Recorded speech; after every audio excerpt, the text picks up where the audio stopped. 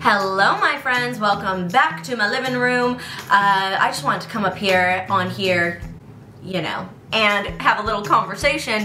Uh, I just came back from Playlist Live in Orlando and uh, it's like an influencer event and that's obviously like the world that I work in. I feel like anybody who watches this channel knows that. I run a business full time and then this is what I do with like my little bit of spare time as my hobby. So, hi. Um, anyways, you know how I'm like kind of changing my stuff and I want to give you more practical advice, especially there's a lot of people who are watching that are maybe aspiring entrepreneurs um, and people who just want to like, you know, maybe feel like they need some little business tips or advice. So this is kind of the long version. Obviously I make short version on my Instagram. If you're not following that, boom, it's right here. Um, but I wanted to give you this piece of advice in sort of longer form and like how I came to it.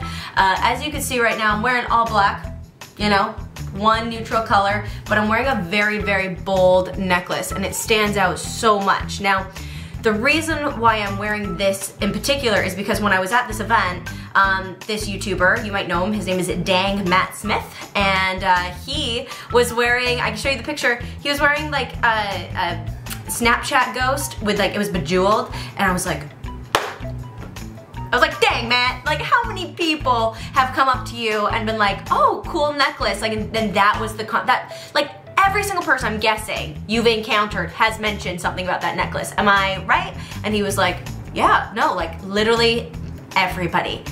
And I just was thinking to myself like, oh my god, I have to come on here and tell you that statement pieces, like if you were going to an, an event and you are maybe feeling uncomfortable and you don't know anybody and you know, say you have to go by yourself and like, you know, it's always awkward to be like, hey, so how are you doing? You always, like most icebreakers are you know, maybe you mention something about their hair or like you see something that you like, you know. My, my, biggest piece of advice is just wear something that stands out. One particular thing. It could be a cool bag, it could be an interesting colored pocket square, a necklace like this.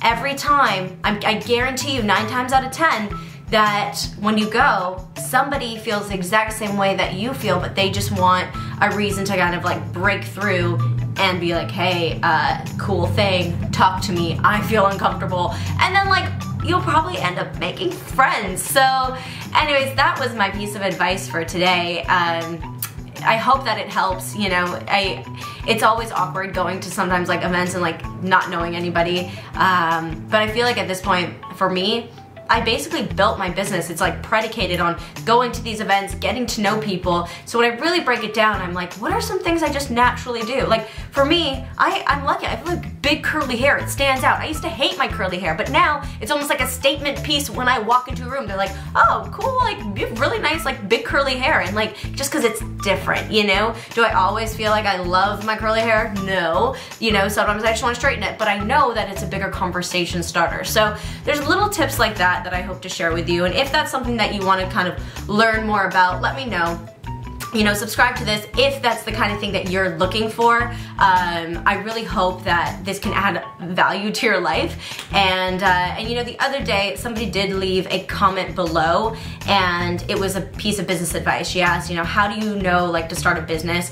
Um, and I thought that really sparked in, uh, my thoughts and I was like, wow, what if you had any questions? Why don't you put them in the comments below if you have a business question and maybe next week I will just take one of them and I will answer it and uh, and you know, we can have more of a conversation. So that's pretty much everything. I just want to say hello and give you that piece of advice. I hope you're having an amazing day, an amazing week, sending you happiness and health. And like I always say, work hard, be kind to one another, and spread happy vibes. I will see you next week with a brand new video. Bye.